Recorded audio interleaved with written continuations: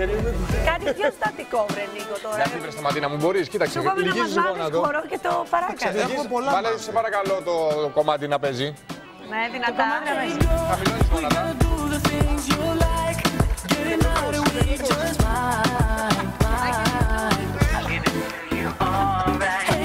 Παπανότα είσαι θεός, αγόρι μου.